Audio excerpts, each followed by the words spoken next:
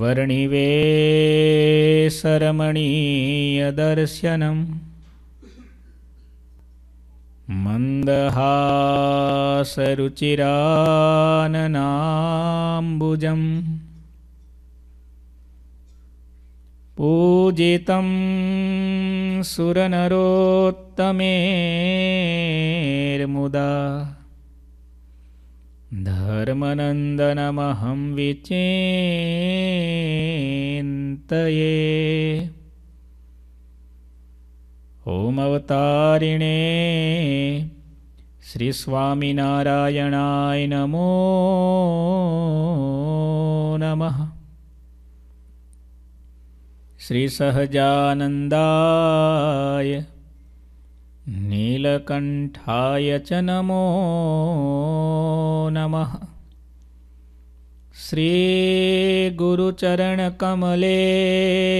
श्रीगुरुचरणकमलेभ्यो नमो नमः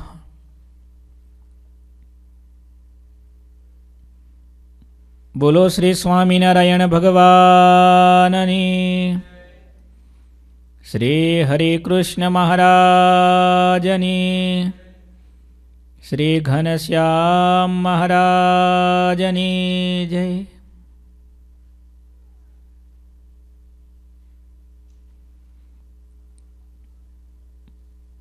બધા ભક્તોને જય શ્રી સ્વામિનારાયણ.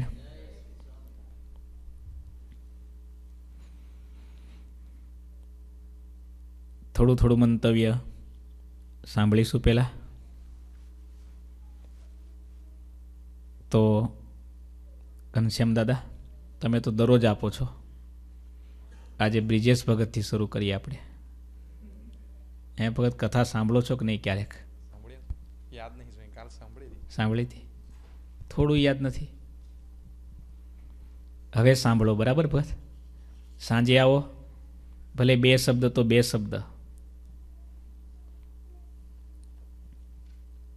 ચાલો મુકેશ ભગતને આપો આજે. જય શરણ સ્વામી જય સ્વામિનારાયણ ભગત. સુખમુનિએ પૂછેલા ધર્મ સિદ્ધાંતના ઉપદેશમાં બ્રહ્માનંદ મુનિને નિષ્કામ સુધીનો ઉપદેશ આપતા. સરસ જરાક વાત કઈ વાંધો નહીં પણ વિનોદ વિનુ દાદા યાદ છે તમને? જય સ્વામિનારાયણ સ્વામી. હા બોલો દાદા. ધર્મદેવની વાત હતી અને એક રાજાની વાત તો મેં કહી હતી હા રાજાની કહી દો ચાલો આપણે. એક રાજા સૂતા હતા હા. નાની સી જિંદગી. હા. એને કોઈ સંત જગાડવા આવ્યા કે ભાઈ જગાડો એ એ એટલું મને યાદ છે. કંઈ વાંધો નહીં આવું ના ચાલે. જે કીધું તું જેવું કીધું હોય અને જેટલું કીધું હોય. ભલે નાની વાત. જેમ છાસ વલોવે અને એમાંથી માખણ કાઢે, બરાબર? એમ કથામાંથી સારો શ્રોતા કંઈક સાર શોધે. શું શોધે? ભાઈ શું થયું આ? સાર શોધ્યો? અમારા રણછોડ પર જતા રહ્યા ને એટલે આવું બધું એને વિયોગ થયો લાગે છે. ભગત ગયા એટલે એવું બધું. આવું છે. સારો શ્રોતા એ કથામાંથી સાર શોધે. મંતવ્યનો અર્થ જ થાય. એક કલાકની કથા તો કદાચ મને યાદ ન હોય, પણ એ કથા સાંભળી એમાંથી કંઈક આપણે આપણને સમજાય એવી વાત, આપણને કામ લાગે એવી વાત યાદ રાખવાની? વિનુદાદાએ વાત સરસ કરી, પણ થોડા દિવસ તમે ઘનશ્યામ દાદા જોડે રહેવા આવી જશો ને પછી ફાવી જશે તમને. છોડાવી પડશે માયા એ વાત નક્કી છે, હા. બહુ વળગી ગઈ, હા, વિનુ. મને એમ કે ઓછી થશે, આ તો વધી બોલો, બ્રિજેશ ભગત. ઘનશ્યામ દાદા કયો, તમે છેલ્લે મુન્ટુ ભગતને આપો.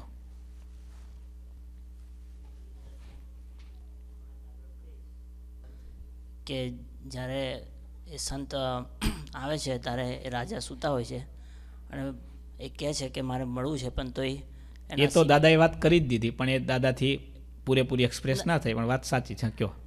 એનો સાર કયો. એટલે સાર એવો જ હતો કે પેલો રાજા જે સૂઈ રહ્યો હતો પછી એને ચિઠ્ઠી મોકલીને ગયા અને એવું કીધું કે જિંદગી આ નાની નાની છે કહાની. એટલે કહેવા માગતો હતો કે જ રહેતો હતો એમાં બગાડતો હતો એની જિંદગી. એને કદાચ જાગીને કંઈક કર અને એના લીધે એને ત્યાગ સર્વ કરી દીધો. સાચી વાત અને પછી આઈ થિંક ત્યાગાશ્રમમાં જતો રહ્યો હતો. સાધુએ ચિઠ્ઠીમાં લખ્યું હતું માતાના ગર્ભવાસમાં નવ મહિના સુધી સૂતો જન્મ્યા પછી પારણામાં સૂતો. અને પછી મર્યા વખત તો એ ઠાઠડીમાં સુવાનું થશે હા હજી સુવાનું બહુ બાકી છે. હવે તો જાગ ભાઈ. તો જાગ્યા સરસ. બહુ સરસ એની એક પંક્તિ છે કવિતા પણ એ ફરીવાર ક્યારેક લાવીશ આપો ચિરાયુ ભગતને. ફરજિયાત છે ભગત એકાદશીની સભામાં તો. કાલે કથા નથી. મંતવ્ય જોરદાર આપ્યું એમણે લો. કઈ વાંધો નહીં મોડા આવ્યા હતા આઠ નવ વાગ્યા થાય એવું બધાને થાય અમે ક્યારેક નથી બનતું. પણ તમે મંતવ્ય આપ્યું બરાબર? પરમ દિવસનું યાદ છે કઈ? પરમ એના આગલા દિવસનું? યાદ રહેતો હતો હવે રાખવાનું હા? તમારા જેવા સારા ભક્તોને એ જ કરાવવાનું છે હવે. આપો જય ભગતને. નહીં? આપણે સમયાની એક વાત કહી દો ચાલો જય ભગતને આપો. શુક્રવાર, શનિવાર, રવિવાર, ત્રણ દિવસ આપણો સમય હતો ને સારો.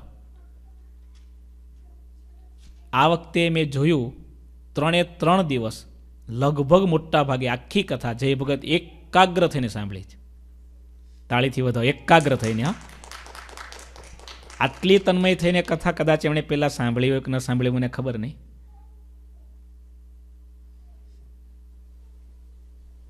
કશું નહીં ભગત? કંઈ વાંધો નહીં. તમને પહેલેથી ખબર નહોતી ને સ્વામી પૂછવાના છે, એટલે યાદ ન રહે આ બધું એવું છે. પણ હવે તમને ખબર પડી કે ફરીવાર સ્વામી સભામાં આવશું એટલે પૂછવાના છે. શ્રુતિ ભગતને આપો. કેટલી સરસ વાતો આવે છે. આજે તો એટલી સરસ વાત આવશે ને. અને હવે લાઈવ કથામાં પણ બહુ સારા હરિભક્તો યાદ રાખે છે બધું.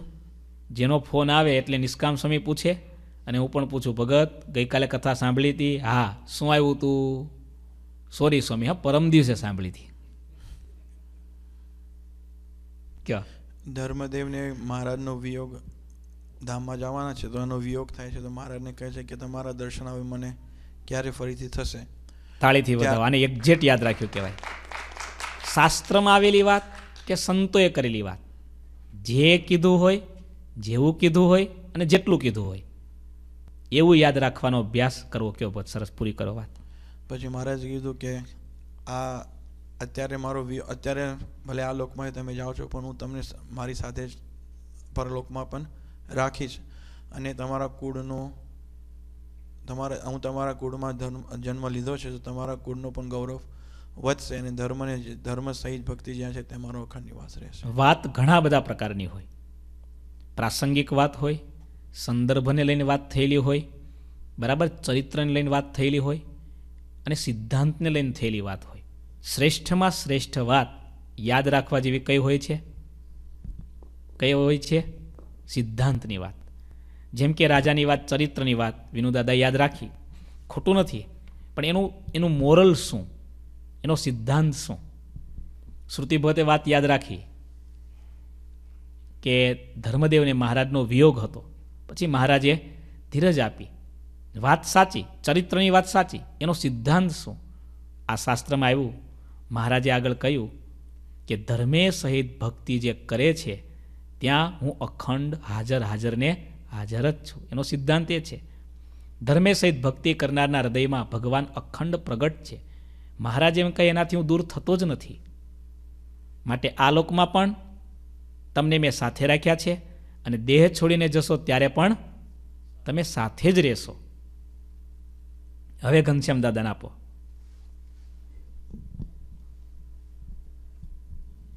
જય સ્વામિનારાયણ સ્વામીજી.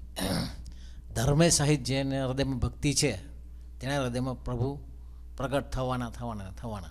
દાદાએ તો નક્કી કરી હશે વાત એટલે મેં કહી દીધી ને દાદાએ કહી દીધી. કંઈ વાંધો નહીં દાદા હા. અને તેનામાં સદગુણો પણ વસે છે. પણ હવે મેં કીધું ને આવું મંતવ્ય. ભલે એક જ લાઈનમાં વાત હોય, પણ એવી સચોટ વાત હોય. બીજાને ચોટે કે ના ચોટે, પણ આપણને તો ચોટી ગઈ હોય. કાલે કેટલી સરસ મેં વાત કરી હતી ને ઘણી બધી, કે અંજવાળું છે ત્યાં અંધારું હોય જ ન શકે.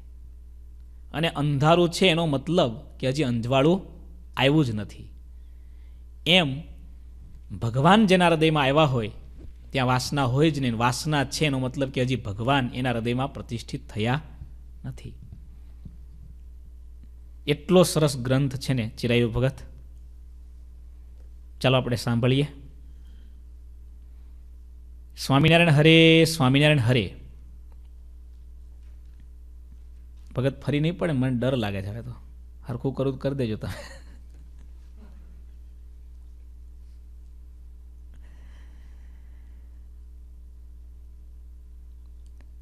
સ્વામિનારાયણ હરે સ્વામિનારાયણ હરે.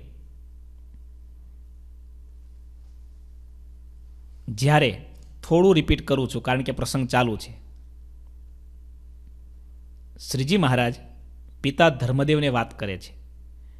જ્યારે ધર્મને તોડી નાખે છે, ધર્મની મર્યાદા તોડે છે, બરાબર? ત્યારે શું થાય છે? તો શ્રીજી મહારાજ વાત કરે છે આપના કુળ સિવાય ક્યાંય મોક્ષ નથી. બીજા બધાએ તો ધર્મને તોડી નાખ્યો છે. જ્યાં ધર્મ ન હોય, ત્યાં અધર્મ રહે. અધર્મથી શુભ બુદ્ધિનો નાશ થાય છે. અને જ્યારે શુભ બુદ્ધિનો નાશ થાય, ત્યારે અન્યાયને ન્યાય કહે છે. અને તે પછી તેના ધન, સંપત્તિ અને અનેક પ્રકારના સુખ તે બધું એક પલકવારમાં નષ્ટ થઈ જાય છે. આપણા શાસ્ત્રોમાં આવી વાતો કાર્યકારણની વાતો એ સૈદ્ધાંતિક વાતો ગણાય. વિનાશનું કારણ શું છે? સંપત્તિ નાશ પામે, સુખ નાશ પામે, એનું કારણ શું છે?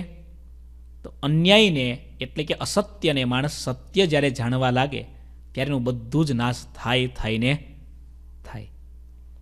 અસત્યને વિશે સત્યની ભ્રાંતિ ક્યારે થાય માણસને? શુભ એટલે કલ્યાણ કરનારી બુદ્ધિનો નાશ થાય ત્યારે. કલ્યાણ કરનારી બુદ્ધિનો નાશ ક્યારે થાય? અધર્મમાં જીવની પ્રવૃત્તિ થાય ત્યારે. અધર્મમાં પ્રવૃત્તિ ક્યારે થાય? ધર્મની મર્યાદા તોડે ત્યારે. એક સિમ્પલ વાત કરું તમને. હમણાં બનેલી સત્ય ઘટના. હું ઇન્ડિયા હતો, વિશ્વ હિન્દુ પરિષદમાં. આપણા દેશની અંદર કેટલી બધી બહેનોનું અપહરણ થાય છે, બરાબર? એક સત્ય ઘટના, એક સારા કુળની, સારા પવિત્ર ઘરની દીકરી આ રીતે મોહમાં સ્વેચ્છાથી કોઈ મુસ્લિમ યુવાન સાથે જાય. એ ઘટના આપણે બહુ ડિટેલમાં નથી લેતા, પણ જેણે ઘરમાં ક્યારેય લોહી જોયું પણ નથી, ખૂન જોયું પણ નથી, અને એવા ઘરમાં જાય કે જેના ઘરમાં સવારથી સાંજ સુધી કતલ થતી હોય, કપાતું હોય રંધાતું હોય. સવારે નિષ્કામ સમય વાત કરી હતી ને, કે ક્રૂર અને અક્રૂર. ક્રૂર કોને કહેવાય? જે માણસ એક પણ વાર લોહી જોયું નથી, લોહી જોઈને ડરી જશે, ચક્કર આવી જશે, એને નહીં ગમે. પણ દરરોજની હેબિટ થઈને એકવાર નાક દબાવતા દબાવતા, બીજી વાર મોઢું દબાવતા દબાવતા સંકોચ કરીને, પણ પછી ધીરે ધીરે શું થઈ જાય? પછી હેબિટ થઈ જાય. પછી આદત થઈ જાય. પછી જ્યાં સુધી એવું કરે નહીં, જુએ નહીં, ત્યાં સુધી એમાંથી એનો છુટકારો ન થાય. એટલા માટે ગીતામાં ભગવાન શ્રી કૃષ્ણ કહે છે, ધ્યાયતો વિષયાન પુંસઃ સંગસ તેસુપ જાયતે. સંગાત સંજાયતે કામ, કામાત ક્રોધો બી જાયતે ક્રોધાદ ભવતી સમોહ સમોહાત સ્મૃતિ વિભ્રમ. સ્મૃતિભ્રંશાત બુદ્ધિનાશ બુદ્ધિનાશાત પ્રણશ્યતી. આપણા શાસ્ત્રોમાં બતાવેલો આખો ક્રમ છે. વિનાશ કાલે વિપરીત બુદ્ધિ. ભગવાન જેને મારવા ઈચ્છે, એને લાકડીથી નથી મારતા. ભગવાન કેવી રીતે મારે? એનો એક સ્ક્રૂ અવળો કરી નાખે. એની બુદ્ધિ ભ્રષ્ટ થાય. બુદ્ધિ ભ્રષ્ટ થવાને કારણે એ ખોટું કામ કરે. ખોટું કામ કરે એટલે સમાજ જ એને એટલો મારે એટલો મારે કે ભગવાનને મારવાની જરૂર પડે અને ભગવાન જેને તારવા ઈચ્છે એને ભગવાન ખોબો ભરીને કંઈ પૈસા કે સંપત્તિ આપતા નથી. જેને ભગવાન તારવા ઈચ્છે છે, એને ભગવાન સારી બુદ્ધિ આપે છે. સારા કર્મ કરવાની ઈચ્છા આપે છે. એકાદશી હોય, ઉપવાસ કરવો છે. આ સંકલ્પ કોણે કરાવ્યો? થોડું બોલો. મહારાજે. એકાદશી હોય આજે મંદિરે જવું છે. એક કલાક ધૂનમાં બેસવું જ છે. આ સંકલ્પ કોણે કરાવ્યો? મહારાજે. આ સંકલ્પ કરવાની બુદ્ધિ ભગવાને આપી. એકાદશી હોય. આજે તમારે હમણાં આજે પણ કેટલા મેસેજ આવ્યા કે, સ્વામી, મારે બસો ચોત્રીસ માળાના નિયમ બાકી હતા. આજે એકાદશી મેં પૂરા કર્યા. મહારાજને બર્થડે ગિફ્ટ તરીકે આપવા માટે આપણે ઘણા બધા ભક્તોને વાત કરી હતી. પણ આ સંકલ્પ, ચાલો આજે એકાદશી છે, મારે હજી પચાસ દંડવત બાકી છે, એ કોણે કરાવ્યો સંકલ્પ? ભગવાને. એટલી વસ્તુ સત્ય છે, ભગવાન ન જ કૃપા કરે છે, ત્યારે જ ભગવાનની ભક્તિની ઈચ્છા જાગે છે. સંકલ્પ કરાવનારા પણ ભગવાન છે. એ સંકલ્પ કરવાની બુદ્ધિ આપનારા પણ ભગવાન છે અને સંકલ્પ કરવાની શક્તિ આપનારા પણ ભગવાન જ છે. એટલા માટે આપણે ત્યાં આચાર્યોએ ગુરુજીએ બહુ સરસ વાત કરી છે, શાસ્ત્રોની વાત છે. ભગવાન સાધ્ય છે. સાધ્યનો અર્થ શું થાય? પામવા યોગ્ય. ડેસ્ટિનેશન ભગવાન સાધ્ય છે અને સાધન પણ ભગવાન જ છે. હીરા વતે હીરો વિંધાય છે. સાધ્ય પણ કોણ છે? ભગવાન છે. અને સાધન પણ કોણ છે? ભગવાનની કૃપા થાય. ભગવાન જેવા સત્પુરુષની પ્રાપ્તિ થાય. ભગવાન જેવા સત્પુરુષમાં ભગવાનપણાની દિવ્ય બુદ્ધિ જાગે. ત્યારે એવા સંત દ્વારા એ સંતમાં રહેલા ભગવાન દ્વારા જ ભગવાન ઓળખાય છે. બાકી ઓળખાતા નથી. ગીતાજીમાં આઠ પગથિયા બતાવ્યા. પદાર્થનો યોગ થાય એટલે એનું ચિંતન થાય. ગણજો. પદાર્થનો યોગ થાય, પછી શું થાય? ચિંતન થાય. ચિંતન થાય, પછી એમાં આસક્તિ થાય. આસક્તિ થાય, પછી એની કામના થાય. મેળવવાની ઈચ્છા થાય. તીવ્ર ઈચ્છા થાય. મેળવવાની ઈચ્છા થાય પછી એમાંથી ક્રોધ જન્મે. કારણ કે કોઈ વસ્તુ તરત તો મળતી નથી. ક્રોધ જન્મે. ક્રોધ જન્મે માણસને. અકળાઈ જાય, આકળો વ્યાકળો બની જાય, ત્યારે એની બુદ્ધિમાં મોહ જન્મે. મોહ જ્યારે જાગે, ત્યારે બુદ્ધિ ભ્રષ્ટ થાય. એટલે બુદ્ધિ ઉપર આંખે પટ્ટી વાગી જાય. જેમ બહુ ફોગ હોય, તમને ખબર છે ને? સવારે કાર લઈને જતા કાચ કેટલો સરસ હોય, બધું દેખાતું પણ ફોગ એટલો બધો આવી જાય અને તમારું વાઇપર જો બંધ થઈ ગયું હોય, તો એ ફોગ એટલો બધો થઈ જાય કે તમારે કાર ચલાવી દેખાતું જ બંધ થઈ જાય. જોયું છે ને? મોહ આવે એટલે બુદ્ધિ ભ્રષ્ટ થાય અને બુદ્ધિ સંભ્રમ એટલે બુદ્ધિ ભ્રષ્ટ થાય એટલે વિનાશ થાય. યાદ રહ્યું? વસ્તુનો યોગ થાય એટલે એનું ચિંતન થવાનું જ. ચિંતન થાય અને માણસ જો અટકે નહીં, સાવધાન ન થાય, તો શું થાય એનું પરિણામ? આસક્તિ થાય. આસક્તિ થાય ને અટકે નહીં, બરાબર, ત્યાંથી પાછો વળતા ન આવડે, એની દવા કરતા ન આવડે, તો શું થાય? શું થાય? કામના થાય. એને મેળવવા માટે તરલ તલસવા લાગે. એને મેળવવા માટે અધીરો બની જાય. કામના જાગે, એમાંથી શું થાય? ક્રોધ થાય. ક્રોધ થાય, એમાંથી શું થાય? મોહ થાય. વાહ મોહ થાય એમાંથી શું થાય? બુદ્ધિ ભ્રષ્ટ થાય. અને બુદ્ધિ ભ્રષ્ટ થાય એમાંથી શું થાય? વિનાશ થાય. વિનાશ આઠમા પગથિયે છે. ભગવાને સાત વાર તક આપી છે. સાત વાર. પહેલાં તો જો સંતોને મહારાજે મર્યાદા કેવી કરી? કે સ્ત્રીને ધનથી દૂર જ રહો. કેમ? એનો યોગ થશે. તો શું થશે? આસક્તિ ક્યાં? પદાર્થનો યોગ થાય તો શું થાય? કેમ ભૂલી ગયા તમે? કેટલી સચોટ વાત છે ને.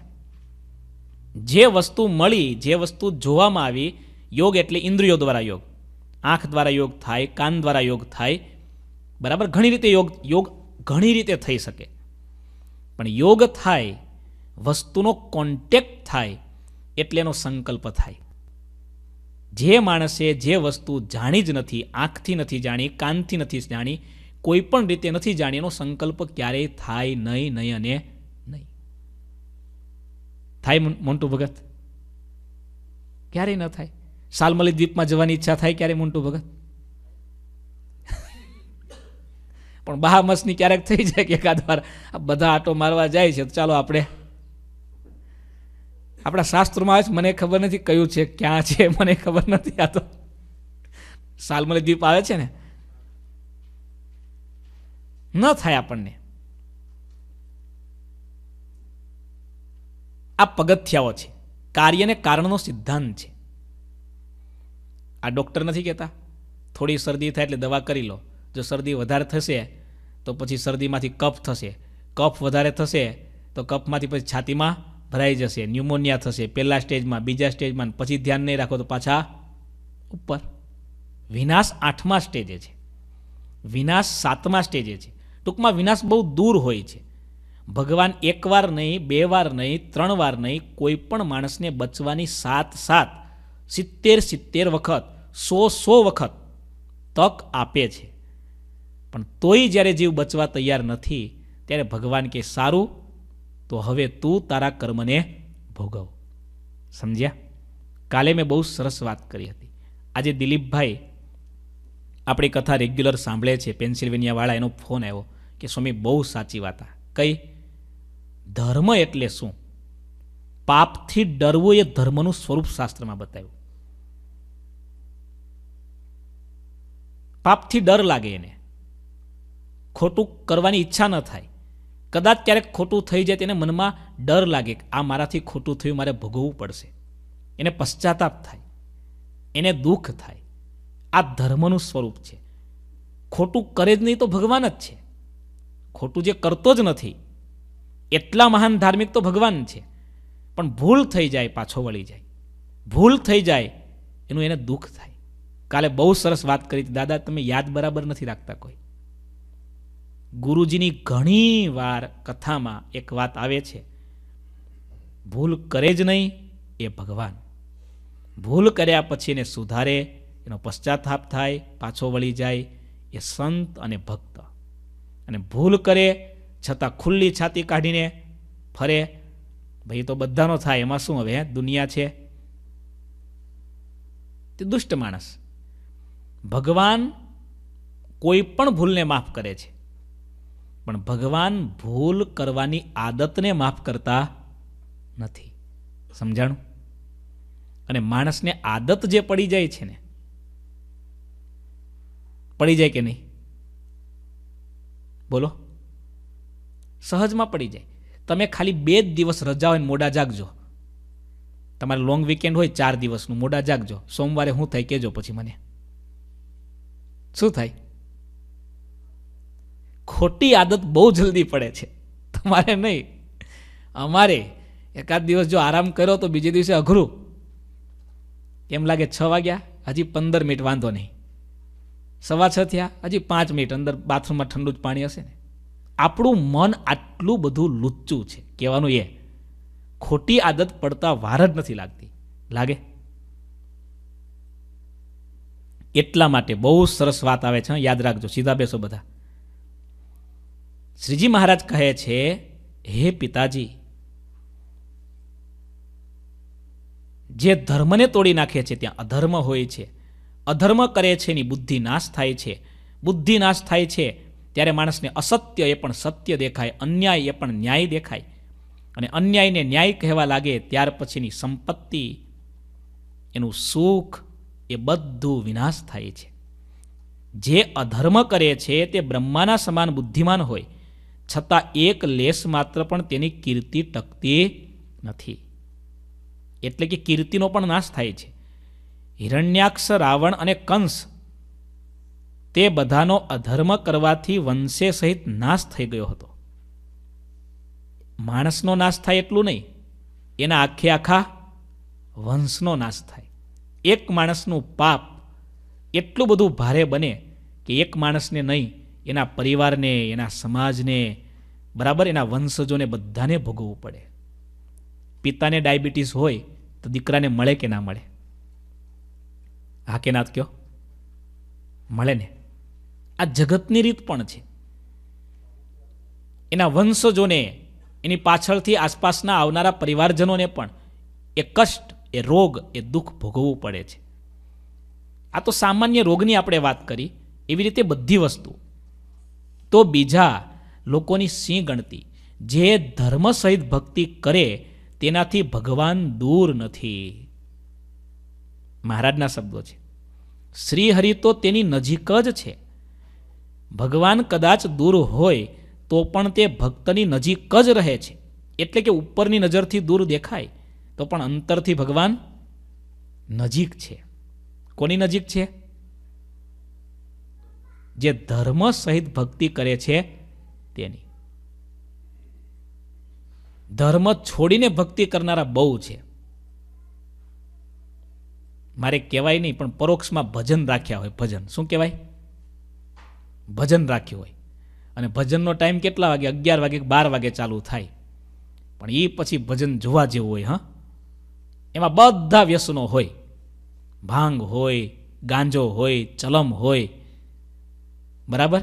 એનાથી આગળના ગણી લો તે હોય. ટૂંકમાં જેને જે કરવું એ કરો, પણ ભજન કરો. અને પછી ભાઈ રંગ જામે, હા? બારથી ચાર. એ ડોલતા ડોલતા આપણા આપણા કરતાં જોરદાર ભજન કરે. પણ એ ભજન ઉગે નહીં. કેમ ના ઉગે? કેમ ના ઉગે ચિરાયુ ભગત? હે? આપણે ત્યાં ઇન્ડિયામાં જન્માષ્ટમી એટલે ગોકળ આઠમ સૌરાષ્ટ્ર આખામાં જ રિવાજ. ગોકળ આઠમમાં એટલે ઉપવાસ કરે લોકો. પણ ઉપવાસ કરીને શું કરે ગોકળ આઠમે પછી? આખો દિવસ બેઠા બેઠા. બરાબર જુગાર ચલાવે. હા સવારથી ચાલુ કરે. પાછા કે કનૈયાએ આ જ કર્યું છે ને? અલ્યા ભાઈ ભગ પોતાને ખોટું કરવા માટે કનૈયાને ત્યાં લઈ આવ્યો વચ્ચે, બોલો. ગોકળ આઠમના દિવસે આપણા દેશમાં કેટલો બધો જુગાર રમાય. શું આ ઉપવાસ છે? શું આ વ્રત છે? શું આ તપ છે? ભગવાન સ્વામિનારાયણે સર્વોપરી કામ આ કર્યું. જગતનો અધર્મ આપણા કલ્યાણને બગાડનાર નથી.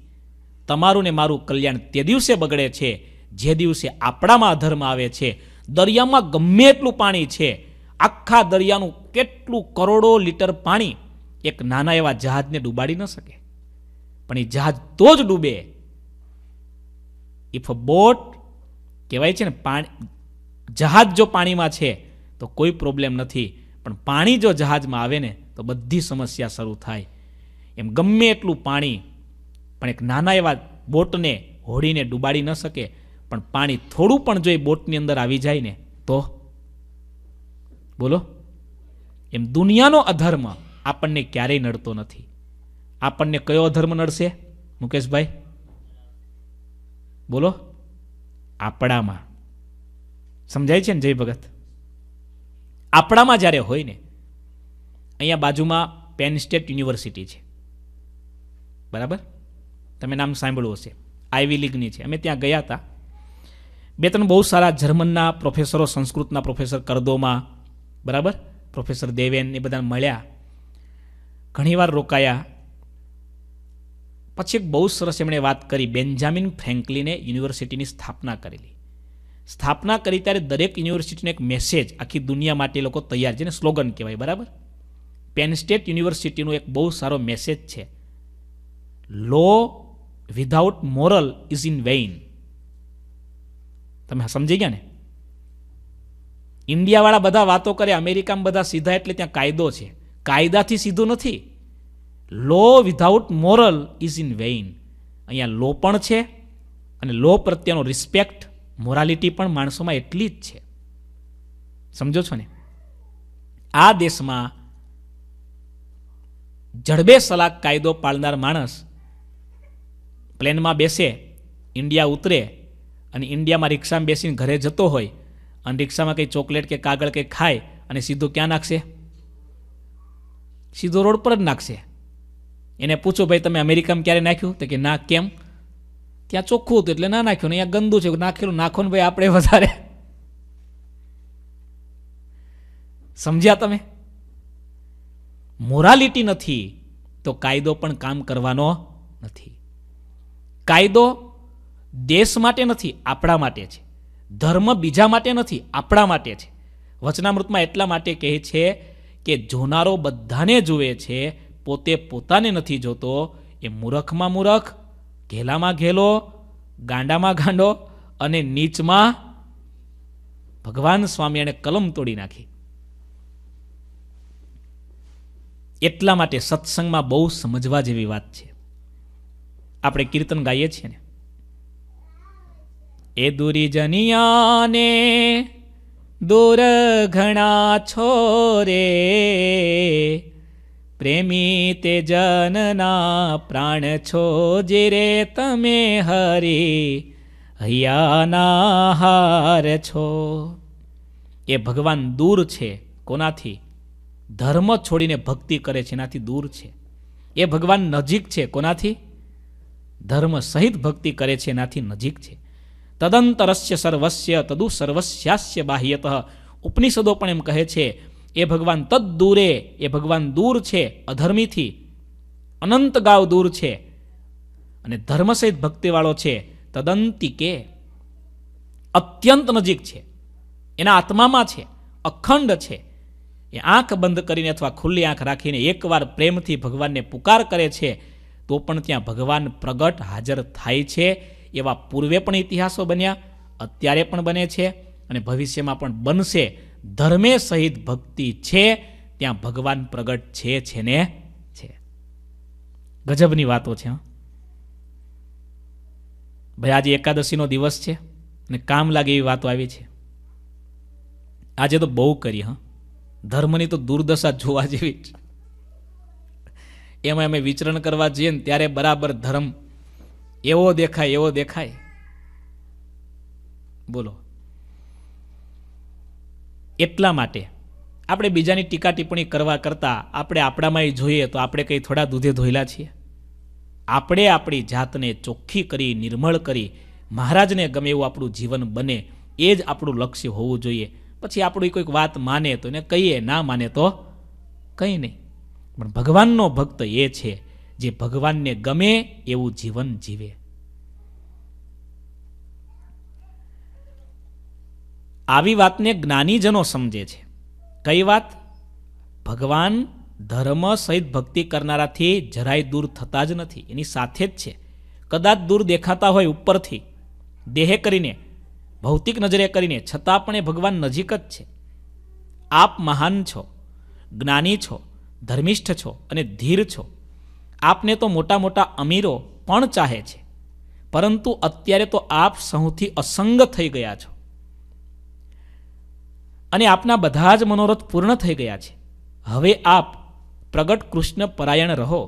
કૃષ્ણ આપની પાસે જ છે. આપ મનને શુદ્ધ કરો. તેથી આપના હૃદયમાં પ્રકાશ થશે. પોતાના આત્મા, પોતાનો આત્મા તેજોમય છે.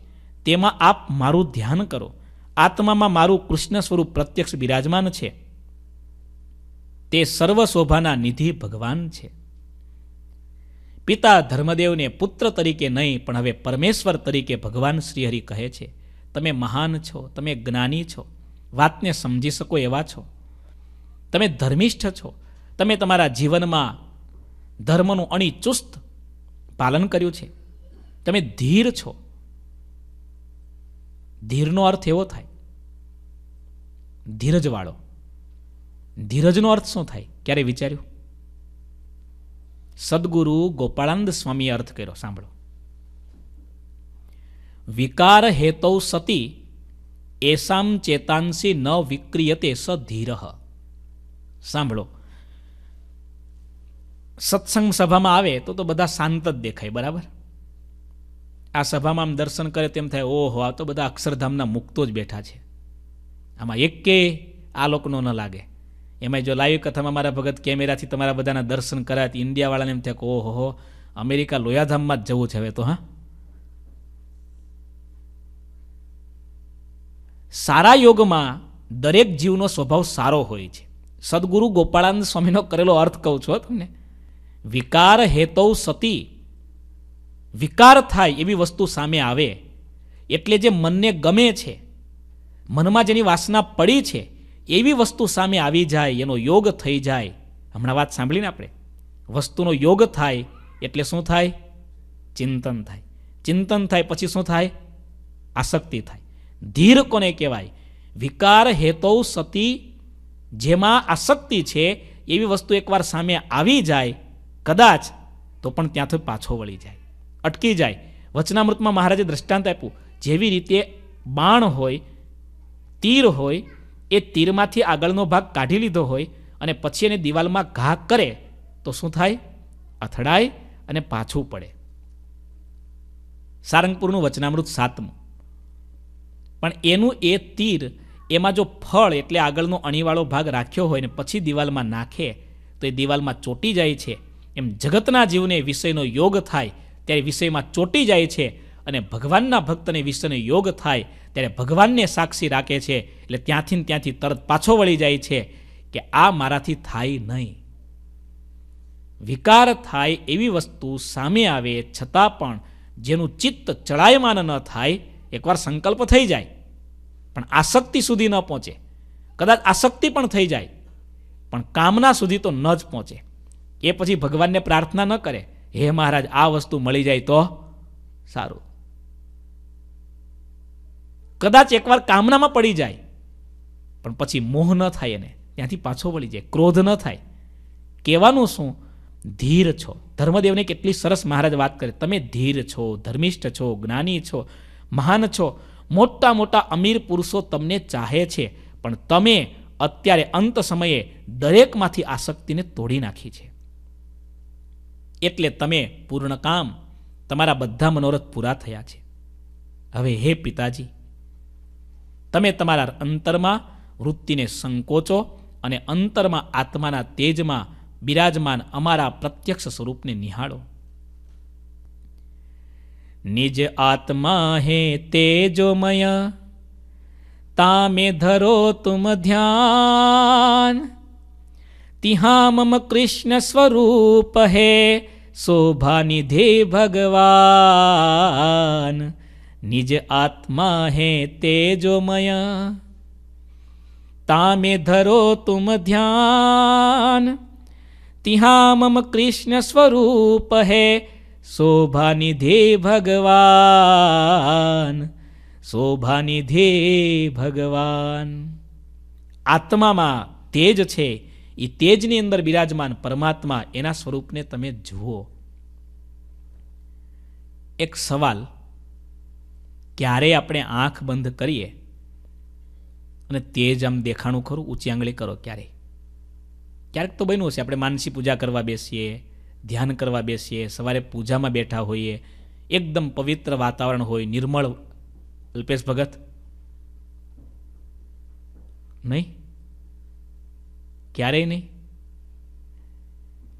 આંખની સામે ભગવાનને જોવાના છે. ગોપાળાનંદ સ્વામી કે સ્વામી એમ કહે, સ્થૂળ દેહે કરીને કરેલું ભજન એ સ્થૂળ દેહના વિકારને ટાળે છે, પણ સ્થૂળ દેહમાં કરેલું ભજન એ કારણ શરીરના દોષને ક્યારેય ટાળતું નથી. એટલા માટે શ્રીજી મહારાજે કરેલી બધી આજ્ઞા આપણે પાળીએ છીએ, પણ એક આજ્ઞા તો કોઈ નહીં પાળતા હોય.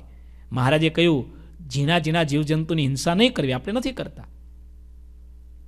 મનુષ્યની હિંસા ન કરવી, નથી કરતા. જુગાર ન રમવો, નથી રમતા. પણ મહારાજે શિક્ષાપત્રીમાં આજ્ઞા કરી કે નિજાત્માનમ બ્રહ્મરૂપ્યમ દેહત્રય વિલક્ષણમ વિભાવ્ય તેન કર્તવ્યા ભક્તિ કૃષ્ણ સર્વદા. અમારા આશ્રિતોએ ત્રણ દેહથી પૃથક પોતાને આત્મારૂપ માનીને પછી ભગવાનની ભક્તિ કરવી. આમ ક્યારે વિચાર કર્યો આપણે? કે આજે એકાદશીની ધૂન છે કોટ તો બહાર કાઢીને આવીએ કે આજે દેહરૂપ નહીં, હવે તો આત્મારૂપ થઈને જવું છે એમ ક્યારેય વિચાર થયો કોઈને મનમાં? અઘરું છે આ. એટલે કહું છું ને, આ શાસ્ત્રની વાતો જ્યારે ઊંડા ઉતરીએ ને, ત્યારે હજી આમાં બહુ આપણે, આ તો મહારાજ દયાળુ છે, પૂરું તો એ જ કરવાના છે, આપણાથી થવાનું. મુક્તાનંદ સ્વામી કેવું સરસ ગાયું ને. એકોટે રવે ચંદ્ર સમ બહુ સરસ સ્વામીના શબ્દો છે. એ ધ્યાન ધર ધ્યાન ધર, ધર્મના કુંવરનું જે થકી સર્વસન તાપના સે કોટી રવે ચંદ્રની કાંતિ જાખી કરે. એવા તારા ઉર વિશે હે નાથ ભાસે કેવા નાથ ભાસે હૃદયમાં ભગવાન કેવા દેખાય? એ કોટી રવિ ચંદ્રની કાંતિ જાખી કરે. એવા તારા ઉર વિશે એ નાથ કરોડ કરોડ સૂર્યનું તેજ ઝાખું થઈ જાય. એવા મહાપુરુષોના ઇતિહાસ આપણે વાંચીએ છીએ. એવા મહાપુરુષોના દાખલા મેં જોયા છે. ગુરુજી આમ સાંજે આંખ બંધ કરીને પદ્માસન કરી હથેળી આમ ખોળામાં રાખી બેસી જાય ને અડધો કલાક કલાક, બે કલાક આમ હલે પણ નહીં. આપણે ક્યારેક તો કરજો. વીસ મિનિટ કરી જોજો ટ્રાય. આ ભગવાન સંબંધી સુખ એવું છે. એમાં જો જીવ ચોટી જાય ને, તેમાંથી નીકળવું અઘરું છે. આપણે વાત સાંભળીએ છીએ કે સંતો સચ્ચિદાનંદ સ્વામીને સમાધિ થાય તો એક દિવસ, બે દિવસ, ત્રણ દિવસ, ચાર ચાર, પંદર પંદર દિવસ ઉતરતી નહીં. આ સમાધિ ભગવાનના સ્વરૂપમાં ચિત્તની વૃત્તિ સ્થિર થાય તે. કોઈ આધુનિક કવિએ પણ ગાયું છે ને? નયનને બંધ રાખીને મેં જ્યારે તમને જોયા છે, તમે છો તેના કરતા પણ વધારે તમને જોયા છે. હવે ખુલ્લી આંખે હારા દેખાય કે બંધ આંખે હારા દેખાય? બોલો. કોઈ વસ્તુને જોવા માટે ખુલ્લી આંખ જરૂરી છે કે બંધ આંખ, મુકેશભાઈ? તો આ કવિ શું કહે છે? તમે છો એના કરતા રૂપાળા, મને કઈ આંખે દેખાણા? ગઝલના શબ્દો જે હશે તે, પણ એનો ભાવ સમજવા જેવો છે. પરમાત્માના સ્વરૂપમાં જીવની વૃત્તિ અતિ એકાગ્ર થાય, વૃત્તિ સંકોચિત થાય, એટલે કે જગતમાંથી પાછી ખેંચાય, આત્મામાં સ્થિર થાય ત્યારે શું થાય? નિજ આત્મા હે તેજોમયા, તામે ધરો તુમ ધ્યાન. તિહા મમ કૃષ્ણ સ્વરૂપ હે, શોભાનિધિ ભગવાન. શોભાનિધિ ભગવાન. હે પિતાજી, હવે વૃત્તિને પાછી ખેંચો. હવે બસ એક ભગવાનના સ્વરૂપમાં વૃત્તિને જોડી દો. યોગી સ્વામીની અંતિમ ક્ષણો જ્યારે હતી, ગુરુજીની સાથે હું હતો. ડૉક્ટર ભીરખુભાઈના દવાખાનામાં સાંજના લગભગ છક વાગે ગુરુજી યોગી સ્વામીને ભલામણ કરી, યોગી યોગી, સંભળાય છે મારી વાત? યોગી સ્વામી આંખ ખોલી. સાંભળ, હવે બધું ભૂલી જા. બધું ભૂલી જા, મને પણ ભૂલી જા. હવે મહારાજ, માં જ તારા ચિત્તને ચોડી દે. આ સામે હરિકૃષ્ણ મહારાજની મૂર્તિ દેખાય છે ને? બસ અખંડ એ મૂર્તિનું ધ્યાન કર હવે બીજું કંઈ યાદ ન કરતો. આ ટકોર કરી ઉપરા ઉપર ત્રણ ચાર વખત ભક્ત ચિંતામણીના પાઠ ચાલુ થયા અને થોડી વારમાં સમાચાર એવા મહારાજ ધામમાં તેડી ગયા. ભક્તની મુક્તિ આવી રીતે છે. પિતા ધર્મદેવને મહારાજ એ જ ટકોર કરે છે કે હવે તમે પુત્રપણાના મારા મોહમાં પણ ન રહેશો. તમારા હૃદયમાં પ્રગટ બિરાજમાન મારું જે સ્વરૂપ છે, પ્રત્યક્ષ પરમાત્મા છે, દિવ્ય જે સ્વરૂપ છે, આત્માના અધિપતિ બનીને બેઠેલું જે સ્વરૂપ છે, આત્માની અંદર છુપાઈને પડેલું જે અંતર્યામી મારું સ્વરૂપ છે, એવું આત્માનું અધીશ્વર એ સ્વરૂપ એને તમે નિહાળો. હે ઉત્તમ રૂપ, ધર્મદેવની વાત જે મેં કહી તેને તમે સાંભળી. જે પ્રેમથી આને ગાશે તેના ઉપર શ્રીહરિ અતિશય પ્રસન્ન થશે. શ્રીહરિએ પ્રસન્ન થઈને પોતાના પિતાના પ્રત્યે જે વચન કહ્યા, તે વચન કરોડો પાપોને તત્કાળ ભસ્મ કરી દે એવા છે. શ્રીહરિએ જે અમૃત જેવા વચન કહ્યા, તેને સાંભળીને ધર્મદેવ અતિ રાજી થયા. પછી તુરંત ધર્મદેવે નમસ્કાર કરીને શ્રીહરિને આગળ વચન કહ્યા, હે અનંત ભુવોના અધિપતિ રાજાધિરાજ, આપ શ્રીહરિ, કરુણા કરીને મારે ઘેર પધાર્યા. આપે મારા ઉપર બહુ જ ઉપકાર કર્યો. તેનો જીભે કહેતા પાર આવે તેમ નથી.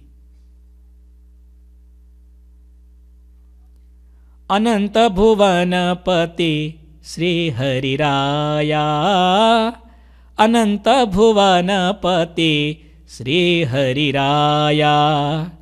કરે કરુણા મમ घर ी आया करे करुणा मम घर मरही आया।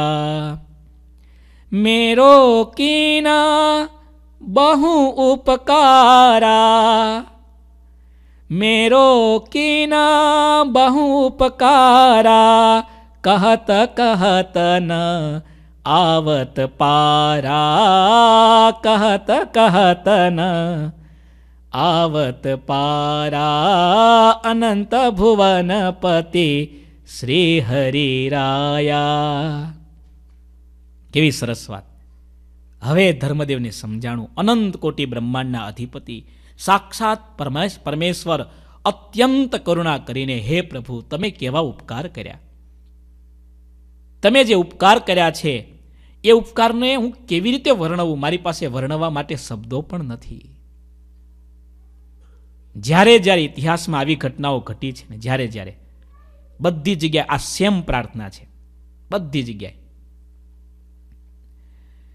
આપણા સત્સંગની બહુ પ્રસિદ્ધ પ્રાર્થના ભવ સંભવ ભીતિ ભેદનમ દીનાનાથ ભટ્ટ. સત્સંગથી વિમુખ થાય, દીકરીને ભૂત વળગે, બ્રહ્મરાક્ષસ વળગે, દીકરી ગાંડી પાગલ બાવરી બને, અનંત ઉપચાર કર્યા પછી પણ જ્યારે દીકરીનો કોઈ ઈલાજ ન થાય અને પછી એ દિનાનાથ ભટ્ટ મહારાજ પાસે આવે. મહારાજે દયા કરી, દીકરીને પ્રેતથી મુક્ત કરી. કોઈ ટકોર કર્યા વિના અને ત્યારે દિનાનાથ ભટ્ટની હૃદયમાંથી જે પ્રાર્થના ફૂટી, એ ભવ સંભવ ભીતિ ભેદનમ, સુખ સંપત કરુણા નિકેતનમ એની છેલ્લી કડી. એમાં પણ દિનાનાથ ભટ્ટે એ જ પ્રાર્થના કરી. હે પ્રભુ, તમે જે ઉપકાર કર્યો છે, એનો બદલો હું કેવી રીતે આપી શકું? મને વિચાર જ નથી આવતો. મારી પાસે શબ્દો જ નથી દેખાતા. ક્ષમતે પ્રતિ કરતું માત્ર કહ. બસ, હવે બીજું શું કરું? એટલા માટે બસ પ્રભુ, નમસ્કાર કરું છું તમારા ચરણોમાં, મારું સર્વસ્વ અર્પણ કરું છું. ધર્મદેવ આવી જ વાત કરે છે. કરોડો વિરાટ પુરુષના આયુષ્ય સુધી કોઈ તે ઉપકારોને કહે તો પણ તેનો પાર આવે નથી. તે ઉપકારના બદલામાં હું તો કેવળ બે હાથ જોડીને મારા મસ્તકને આપના ચરણોમાં નમાવીને વંદન કરું છું. મારી પાસે કોઈ વસ્તુ નથી, શબ્દો નથી કે જે તમને આના બદલામાં આપી શકું. તો શું કરું છું હવે? બસ પ્રભુ, તમને પ્રેમથી પ્રણામ કરું છું. ડોંગરેજી મહારાજના એવા ને એવા શબ્દો બોલું છું. દાદા એમ કહે કે પદાર્થથી પ્રસન્ન થાય એ જીવાત્મા, પદાર્થથી પ્રસન્ન થાય એ જીવાત્મા, પણ માત્ર પ્રેમયુક્ત કરેલા પ્રણામથી પ્રસન્ન થાય તે પરમાત્મા. એકવાર હાથ જોડીને પ્રભુને એમ કહે પ્રભુ, હું તારો છું. તો ભગવાન એને તારી નાખે, હા? પણ નાભીમાંથી નાદ નીકળવો જોઈએ. ને આપણું કોઈ દસ વાર બગાડ્યું હોય અને ક્યારેક પછી બરાબર સાણચામાં આવે અને પછી ફોન કરે, પ્લીઝ ભગત, મને આટલી મદદ કરી દો ને. અને બરાબર આપણે પેલો મણિધર કેમ છંછેડાયેલો હોય? પૂંછડી ઉપર બે ચાર વાર પગ મૂક્યો હોય ને પછી કેવો ઊભો થાય? એમ ઊભો થાય, હા? કેમ? ત્યારે આટલો આડો ચાલતો હતો ને એ તું કે બીજો? માણસ દાઢમાં રાખે. ખબર છે ને? કોઈ કીધું છે ને? બહુ સરસ લખ્યું છે. શાસ્ત્રોમાં, નીતિશાસ્ત્રમાં લખ્યું. વીછી હોય ને એની પૂંછડીમાં ઝેર હોય. વીછીની પૂંછડીમાં ઝેર હોય. બરાબર? પછી સર્પ હોય ને એની દાઢમાં ઝેર હોય. મધમાખી છે ને માથામાં ઝેર છે, મસ્તકમાં. વીછીની પૂંછડીમાં ઝેર છે. સર્પની દાઢમાં ઝેર છે, મધમાખીના માથામાં ઝેર છે, પણ દુર્જન માણસના તો નખથી લઈ શિખા સુધી બધે ઝેર જ છે. વીછીને એક જગ્યાએ જ તકલીફ છે, બાકી તકલીફ નથી. પણ દુષ્ટ પુરુષ તો કેવો છે? એના નખથી લઈ તે શિખા સુધી આખે આખો કોબરા તો સારો હજી હે. બહુ સુંદર વાત છે, એટલા માટે માત્ર પ્રેમયુક્ત પ્રણામે કરીને પ્રસન્ન થાય. એનું નામ પરમાત્મા. મહારાજના સમયના કેટલા એવા ભક્તો આપણે ગુરુજી વાત કેટલી સરસ કરે છે, તમે ભક્ત ચરિત્રમ ગુરુજીની કથામાં સાંભળી હશે. ભરૂચમાં નર્મદાના કિનારે બહુ વર્ષો પહેલાં ગુરુજીએ કરેલી જૂની કથા. એટલી સરસ મજાની મધુર કથા ગુરુજીએ કરી છે. કે જેતલપુર ગામમાં મહારાજ બિરાજમાન છે, રાજા મહારાજાઓ સુખી, સમૃદ્ધ, અમીર, મોટા મોટા શ્રીમંતો ભગવાન માટે મેવા, મીઠાઈ, થાળ, પકવાન બધું લઈને આવે છે. એમાં પેલા જીવન ભક્ત એને પણ એમ કે મહારાજ માટે કંઈ લઈને જાઓ, પણ ગરીબ માણસ કંઈ મળે નહીં. એની પત્નીએ ખૂબ આગ્રહ કર્યો, ખૂબ આગ્રહ કર્યો. મઠનો રોટલો સૂકો એ કપડામાં બાંધી એની ઘરે કંઈ સારું વાસણ ન હોય, સોના કે ચાંદીની થાળી ન હોય. એ ગંધાતું, જૂનું, જેમાં કેટલા વર્ષોથી ભાત એ લોકો બાંધતા છે, ધોયેલું કપડું, એમાં ભાતમાં રોટલો બાંધી મહારાજ માટે આપ્યો. જીવન ભક્ત ખૂણામાં ઊભો ઊભો જોયા કરે. અરે મેવા, મીઠાઈ, આટલા સારા સારા પકવાન, થાળ, એને જે અડતા નથી, આમ લાઈનો થઈ ગઈ છે, એ આ સૂકા રોટલાને જોઈને કે, એને એને શું થશે? જીવન, જીવનરામ તો આમ દૂર ઊભો રહી ગયો, ખબર છે ને? બગલમાં છુપાવીને ઊભો રહી ગયો. કે આ ભલે પત્ની આપ્યો, પણ આ કંઈ ન અપાય. આમાં તો મારા આબરૂના કાકરા થશે. આ રોટલો અપાય. કેટલો એને સંકોચ થયો હશે? મોન્ટુ ભગત, કેટલો સંકોચ. સોનાના આભૂષણ, સોનેરી વસ્ત્ર અલંકાર પહેરીને બેઠેલા એ જેતલપુરમાં દેવ સરોવરના કિનારે રંગમહોલમાં મારો મહારાજ મહાલતા હોય. આપણા રાજાધિરાજ પીવડા ઘનશ્યામ મહારાજ જેવા, હે? ઇન્ડિયાવાળા કે વાઘા બહુ જોરદાર છે. મેં તો વાઘાની મહારાજ કેવા છે? કહો ને તમે મારા હમણાં એક ભગતનો ફોન આવ્યો. મને કે, સ્વામી, આ લોયાના ઘનશ્યામ મહારાજના ત્રણ વર્ષથી દર્શન કરું છું ને એ ત્રણ વર્ષમાં જેટલા વાઘા નથી બદલાતા ને એટલા એક મહિનામાં બદલી ગયા અમેરિકાના ઘનશ્યામ. મેં તો ભાઈ, અમેરિકાવાળા છે, એનઆરઆઈ મહારાજ. અને આમે કંઈ આપણે એટલું બધું સોનું ધરાવતા નથી, પણ ઇન્ડિયાવાળાને તો બધું ચમકતું શું દેખાય? આપણા ભક્તોનો પ્રેમ બહુ છે. મહારાજ માટે હરિભક્તોએ સુવર્ણના અલંકારો ઇન્ડિયામાં કામ ચાલુ છે, પણ ગુરુજીની ડિઝાઇન પસંદ નથી પડી હજી. એટલે તમારા બધાનો પ્રેમ મહારાજ તો સોનું પહેરવાના જ છે ને, હજી પહેરે છે સોનાના કેટલા બધા હાર હરિભક્તો અર્પણ કર્યા છે. નિષ્કામ સ્વામી ટકોર તમને કરી જ દીધી, બહુ જૂઠું ના લાવતા. પણ કહેવાનું શું? કે ભગવાનની આટલી સમૃદ્ધિ, આટલો વૈભવ જોઈને પેલા બિચારા ગરીબને એટલો સંકોચ થાય, એટલો સંકોચ. સમૃદ્ધિ અને ગરીબી વચ્ચેનો બહુ મોટો તફાવત છે. આ દેશમાં ઓછો દેખાય, કારણ કે આ દેશ એવરેજ માણસો સુખી છે એટલે. પણ ઇન્ડિયામાં તમે જુઓ તો દેખાય, હા. હમણાં મને એક ક્લિપ મોકલી, આ તો વાત કરી દઉં વચ્ચે.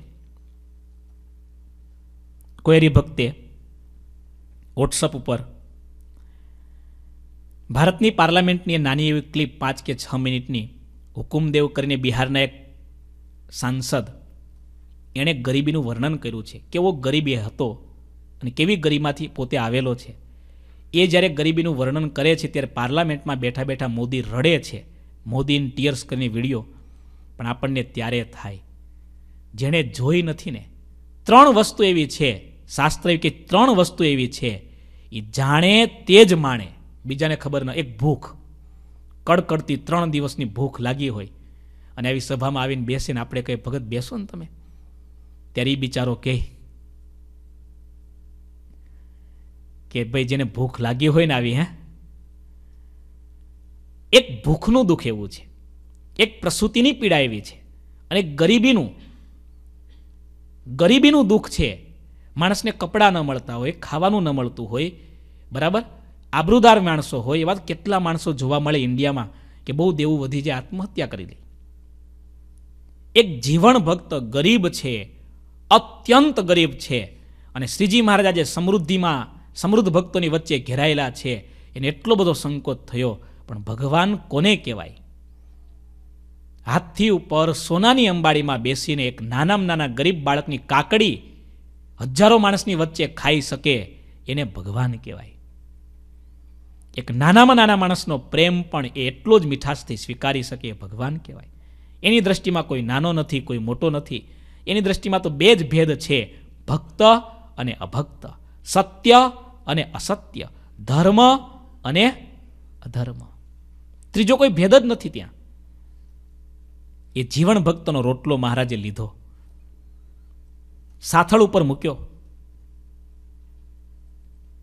અને સાથળ ઉપર મૂકી બીજા હાથથી રોટલાનો ટુકડો કરી એ રોટલાની વચ્ચે જે ભાજી મૂકીએ છે ભાજી સાથે મહારાજ ખાતા જાય અને મહારાજ એમ બોલતા જાય ભક્તિ માતાના દૂધમાં જેવો સ્વાદ હતો, એવો જીવન તારા રોટલામાં સ્વાદ છે. આ પુરુષોત્તમ નારાયણ. એ રોટલાનો સ્વાદ નહોતો, પણ સ્વાદ કેનો હતો? પ્રેમનો હતો. એટલા માટે ધર્મદેવ કહે છે, પ્રભુ, તમારા ઉપકારનો હું બદલો શું આપું? બસ પ્રેમથી પ્રણામ કરું છું. આવા પિતાજીના વચનને સાંભળીને તે સમયે શ્રીહરિએ તેમને કહ્યું, હે તાત, આપ જે વચન કહેશો તેને હું હરેકથી કરીશ. એટલે ભગવાને પણ પુત્ર ભાવે પ્રાર્થના કરી, પિતાજી, કંઈક મને કેવું હોય તો કહો. હે તાત, તાતના સંસ્કૃતમાં બે અર્થ થાય. આ સમજવા જેવો શબ્દ છે. ઘનશ્યામ મહારાજે ધર્મદેવને કહ્યું, ત્યારે પણ કયો શબ્દ વાપર્યો? તાત. અને ધર્મદેવે ઘનશ્યામને કહ્યું, ત્યારે પણ કયો શબ્દ વાપર્યો? તાત. તાત એટલે પિતા પણ થાય. અને સંસ્કૃત ભાષામાં અત્યંત વાલા દીકરા માટે પણ ઘણી વખત કયો શબ્દ વપરાય છે? તાત. હે તાત, ધર્મદેવ વાત કરે છે ઘનશ્યામ મહારાજને, ત્યાગ અને તપ મને બહુ વાલા છે. તેમાં જ મારી સદા રુચિ છે. ખાન પાન વગેરે મનોવાંછિત ભોગ મને ઝેર જેવા લાગે છે. અને ભયાનક રોગ જેવા લાગે છે. માટે સર્વ પ્રકારે વિષય ભોગનો ત્યાગ કરવો. સદા ભગવાનની ભક્તિને અનુસરવું. મનના ધાર્યા મુજબના સમગ્ર ખાનપાન વગેરેમાં રુચિ ન રાખવી. મનના ધાર્યા પ્રમાણે તો ક્યારેય તે મળવાનું જ નથી.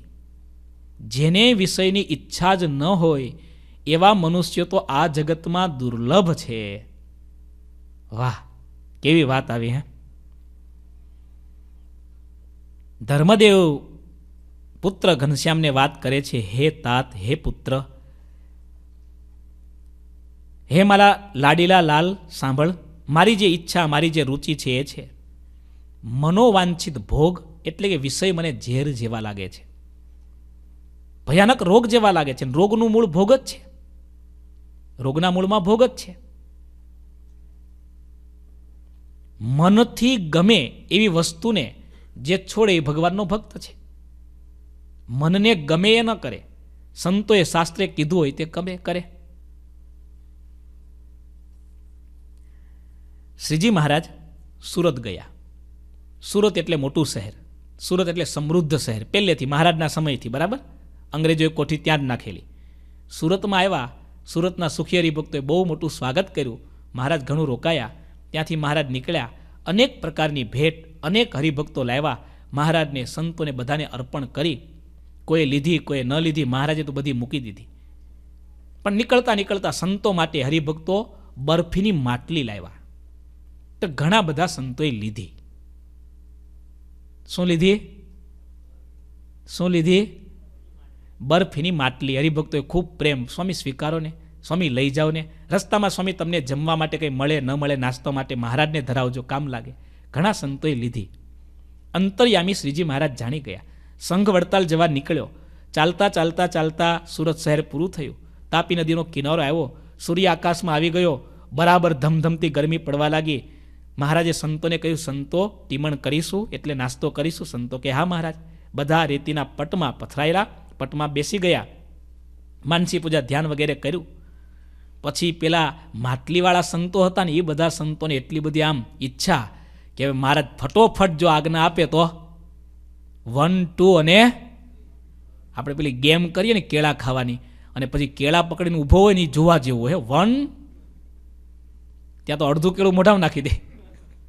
ટુ ખબર છે ને તમને ગેમમાં હમણાં મેકન કરીને મેં કીધું આ વીડિયો એકવાર ઉતારીને પછી બતાવો જોઈએ એમ. એક ખાલી અડધી જ મિનિટ, એમાં ઘણું સમજાય એવું હોય છે. રમત પણ આપણને ઘણી વસ્તુ સાચી દિશામાં સમજાવી જાય. એમાં તરબૂચની ગેમ રાખી. બાપ રે બાપ, જે તરબૂચ ખાધું છે બધા હરિભક્તોએ. એ જેમાં પછી ગેમ હતી, હા. મેં કીધું જો જેમાં પહેલાં હોત તો તરબૂચને ભૂકા બોલી જાત. પણ આનંદ હોવો જોઈએ જીવનમાં. ભગવાનને રાખી, સંતોને રાખી સાત્વિક આનંદ કરે એમાં વાંધો જ નહીં. રિક્કી ભગત બાસ્કેટબોલ રમીને આવ્યા ને તમે? એમાં વાંધો નહીં, બરાબર? સાત્વિક આનંદ, ધર્મ સહિત ભક્તિ કરો, ધર્મને રાખીને કર્મ કરો, ધર્મ સાથે જીવન જીવો, એમાં ખોટું નથી. કોઈ જીવન જીવવામાં આપણી સાચી રીત હોવી જોઈએ. ધન કમાવામાં સાચી નીતિ હોવી જોઈએ. ભક્તિ કરવામાં ભગવાનમાં સાચી પ્રીતિ હોવી જોઈએ. સાચી રીતિ, સાચી નીતિ સાચી પ્રીતિ. આ ત્રણ વસ્તુ આવી જાય તો બચી જાય અનિતિથી, બચી જાય દુર્ગતિથી. વાત આટલી જ છે ને. સંતોના મનમાં એટલું બધું આમ કીધું ને, વસ્તુ મળે પછી શું થાય? સંકલ્પ થાય. સંકલ્પ થાય પછી શું થાય? શું થાય? આસક્તિ થાય. આસક્તિ થાય પછી શું થાય? કામના થાય. એટલે સંતોને એમ કે મહારાજ છૂટ આપે, એટલે બસ આજે તો બરફી, એટલે પૂરી બરફી એમ. અને માટલી જે લઈને આવી તો અમુક તો ખેસિયા નીચે આમ છુપાડી દીધેલી હશે. કે બીજા જોઈએ પાછો ભાગ પડ્યામાં હે? આટલા બધામાં આપણા એક એક ટુકડો ના આવે હાથમાં. પણ અંતર્યામી શ્રીજી મહારાજ જાણી ગયા. માનસી પૂરી થઈ. મહારાજ કે, બ્રહ્મચારી, શું છે? બ્રહ્મચારી માટલી લે. મહારાજ કે, આ માટલી શેની મહારાજ સુરતના ભક્તોએ બરફીને, મહારાજ કે અમે ત્યાગી છીએ. આ ત્યાગી સંતોની વચ્ચે બેઠા છીએ. સાંભળો. અમે ત્યાગી છીએ, આ ત્યાગી સંતોની વચ્ચે બેઠા છીએ. ત્યાગને ન શોભે એવી વસ્તુ અમારાથી ખવાય નહીં. હરિભક્તોએ ભેટ આપીને તમે અહીંયા સુધી લઈ આવ્યા. આ ભાર છે, નાખી દો નદીમાં. શું થયું હશે, વિચારો જેને ખેસિયા નીચે હંતાડી હશે એનું આ તો ભાર છે. ભક્તોનો ભાવ હતો ત્યારે મેં અંગીકાર કરી. હવે ન ખવાય. બ્રહ્મચારી સાથવો બાથવો છે. સાથવો તમે જાણો ને, હલકા મલકું ખાવાનું. બ્રહ્મચારી ફટોફટ સાથવો બનાવ્યો. મહારાજે ના પાડી માટલી તો ખવાય નહીં. બધા સંતોએ મૂંઝાઈ ગયા. એટલે બધા એટલે જ એવા હોય એ જ બધા, એટલે એમાં પછી બધા ના ગણાય આપણે. પણ ઢીલા પડી ગયા કે હવે મહારાજે માટલી કાઢીને તો આપણાથી માટલી દેખાડાય નહીં, નકર મહારાજ તો પછી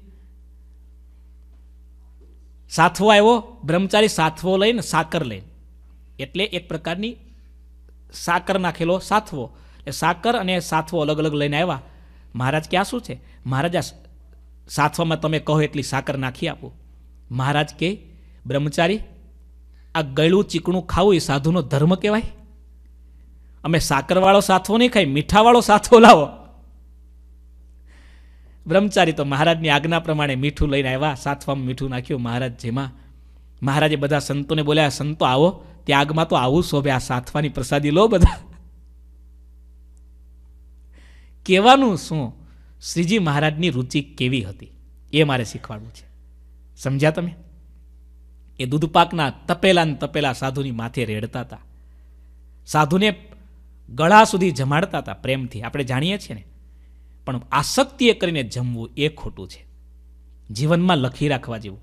સંતોની સભામાં, સંતોની શિબિરમાં ગુરુજીએ પ્રવચનોમાં, સંતોને બહુ જીવનમાં લખી રાખવા જેવી બહુ સરસ વાત કરી. જમવું એ પાપ નથી. ભગવાનની પ્રસાદીમાં જે આવે જમી લઈએ. જમવું એ પાપ નથી, પણ ગમવું ને એ પાપ છે. મંદિરના ભજીયા ખાય ને પછી ઘરે જઈને કજિયા કરે કે તને બનાવતા આવડતું નથી, સ્વામીને રેસીપી પૂછાવી લે. ફોન કરીને સ્વામીને કે, સ્વામી રેસીપી મોકલજો ને જરાક. હા, ઘણા રેસીપી લઈ જાય, હા. હમણાં મેં ગયા તો બે ત્રણ જગ્યાએ રેસીપીનો ઓર્ડર આવ્યો સ્વામી રેસીપી મોકલજો. કેમ? અમારા શ્રીમતી કહેતા હતા કે, આવી દાળ તો બનતી જ નથી. મેં કીધું, ભાઈ રહેવા દો. સ્વામીની દાળ ગમે, પણ સ્વામીની વાત ગમે ને, તો ભાઈ આપણું કલ્યાણ થાય. હા સારું છે, દાળ ગમે, એ સારું છે, બરાબર? કિન્નર ગાર્ડનમાં અમારા આજે પેલા મોક્ષ ભગત ક્યારે સીધા પણ ધૂનમાં નાચવા બરાબર કૂદ એમને મનગમતું હતું ને કૂદકા મારવામાં. આપણને ભજન કે એને ભજન કે, પણ એમને મનગમતું મળી ગયું. અને અસલ બંદરની જેમ જ નાચતા હતા. મેં તો જોયું, આમ આંખ ખુલ્લું એટલે એ જ દેખાય સામે પાછા. જેમની ગુલાટ મારવી, એમની મારી દે, બરાબર? એ ભજન ચોક્કસ છે, પણ મન ગમતું ભજન છે. સમજ્યા તમે? રુચિમાંથી પ્રગટ થયેલું ભજન છે. એટલે એ ભજન ભગવાનને એટલું રાજી નથી કરી શકતું. પણ જ્યારે નિર્દોષ ભાવે, બાળક નિર્દોષ છે, બરાબર?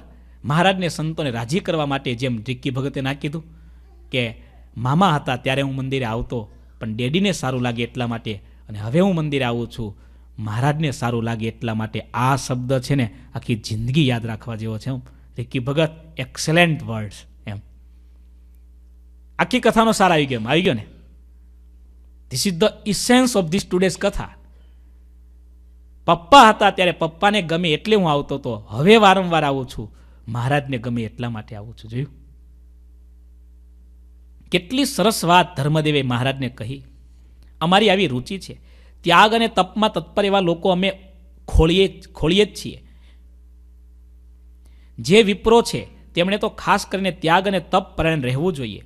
તે સાંભળીને ધર્મદેવને તે સાંભળીને ધર્મદેવને ઘણો જ આનંદ થયો. પછી તેમણે, બરાબર.